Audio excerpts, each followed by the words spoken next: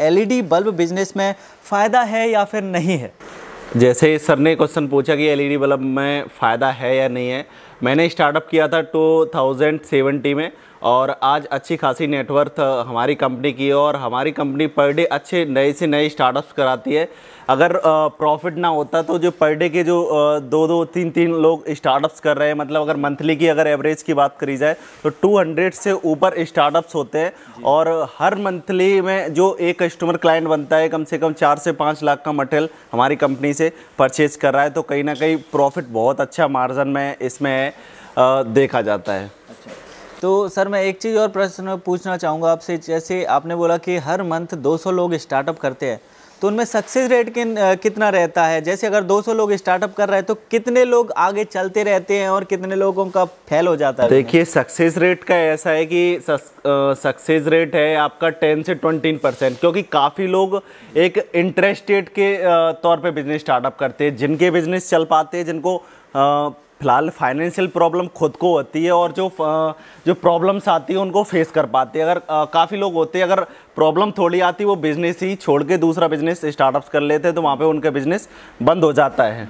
बिल्कुल सही बात है। जैसे कुछ लोग ऐसे होते हैं जिन्होंने अपना जो स्टार्टअप है स्टार्टअप किया, लेकिन महीने दो महीने तक देखा बिज़नेस में उनको ग्रोथ नहीं हो रही है, बचत नहीं हो रही है सेल नहीं कर पा रहे।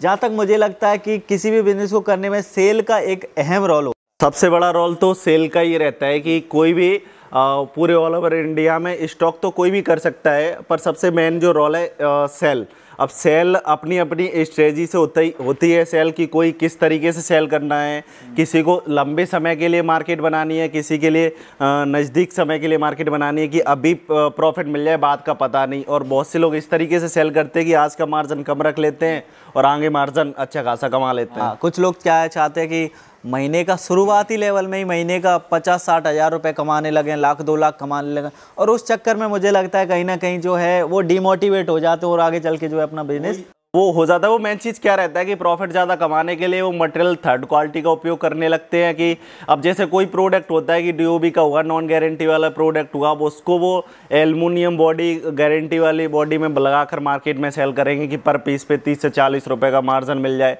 तो वहाँ पर उनका बिज़नेस ऑलरेडी ख़राब हो जाता है क्योंकि मार्केट में वो गारंटी में दे देते हैं कि प्रॉफिट ज़्यादा है।